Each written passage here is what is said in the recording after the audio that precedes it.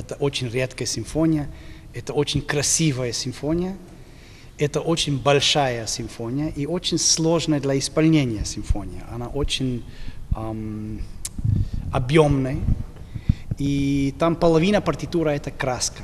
Поэтому вот, вот выбирать этого дорожный путь, э, выстраивать это целая история. И однозначно эта симфония легче играть оркестр, который этого играл всю жизнь.